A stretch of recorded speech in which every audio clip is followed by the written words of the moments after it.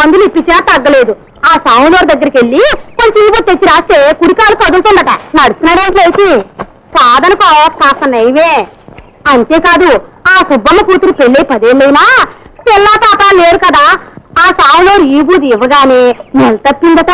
అయితే దేవుడనమాట. అవునమ్మా. తప్పకుండా బాబు తప్పకుండా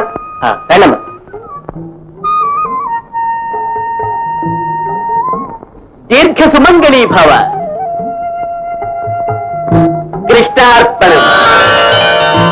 బిడ్డ ఎంత కాలము నుండి నీకు ఈ దురవస్థ? మూడు సంవత్సరాలైంది స్వామి. మూడు వత్సరములు కాదమ్మా. మూడు జన్మలుగా వెంటాడుతున్నది ఈ దురదృష్టము. స్వామి మళ్ళీ జన్మకైనా మంగళకరమైన బ్రతుకుంటుందంటారా ఈ రాత్రి తపస్సమాధిలో భగవంతునితో ఈ విషయమై చర్చిస్తాం. స్వామి. వేళ భగవంతుణ్ణి ఒప్పించి అనుమతి తెప్పించి సర్వమంగళ మంత్రం ఉపదేశిస్తాం.